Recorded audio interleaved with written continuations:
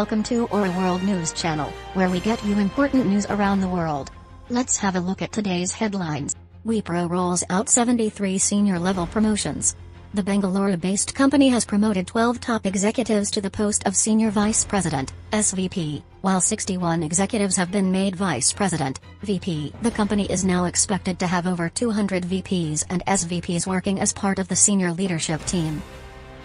A major counter-terrorism probe has been launched after a shipment containing uranium was seized at United Kingdom's Heathrow Airport. The package, addressed to an Iranian-linked firm in the UK Dash is likely to have originated in Pakistan and arrived on a flight from Oman.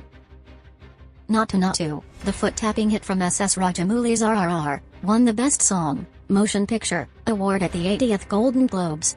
The Golden Globe win for Best Song bolsters RRR's chances of striking gold again in the Hollywood award season which culminates with the Oscars, the nominations for which will be announced on January 24.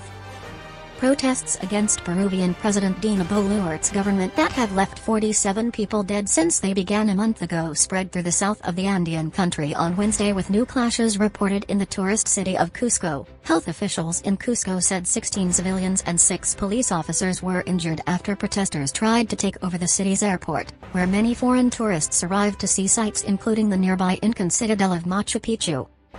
Elon Musk has broken the world record for the largest loss of personal fortune in history, according to a Guinness World Records report.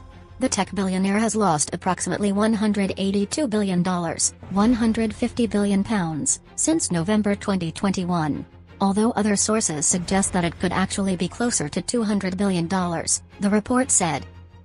That's it for today, thank you for watching Aura World News.